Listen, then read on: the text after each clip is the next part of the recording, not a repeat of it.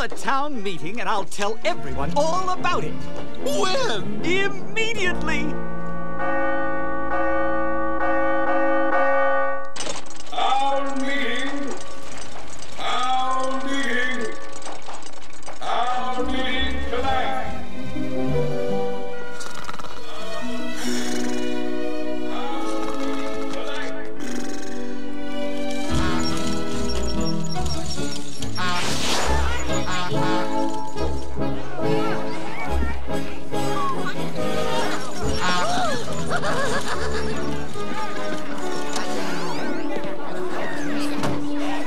Listen, everyone. I want to tell you about Christmas Town. There were objects so peculiar they were not to be believed. All around, things to tantalize my brain. It's a world unlike anything I've ever seen, and as hard as I tried, I can't seem to describe like a most improbable dream. But you must believe when I tell you this. It's as real as my skull, and it does exist. Here, let me show you.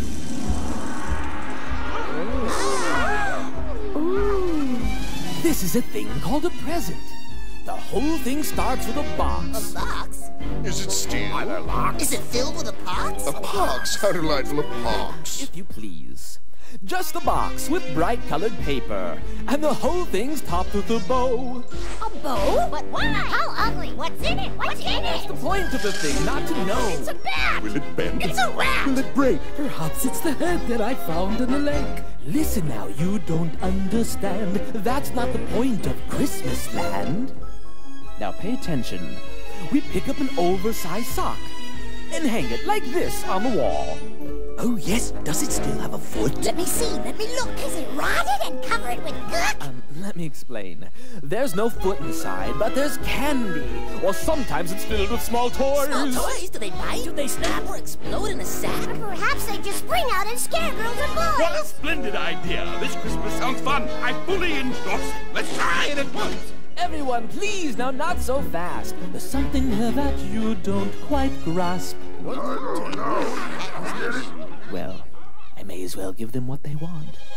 And the best, I must confess, I have saved for the last, for the ruler of this Christmas land is a fearsome king with a deep, mighty voice. At least that's what I've come to understand. And I've also heard it told that he's something to behold, like a lobster, huge and red.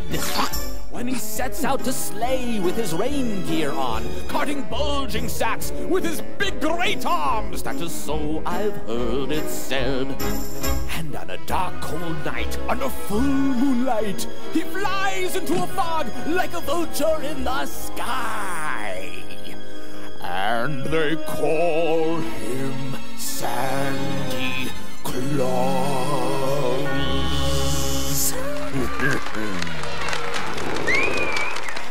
At least they're excited, but they don't understand that special kind of feeling in Christmas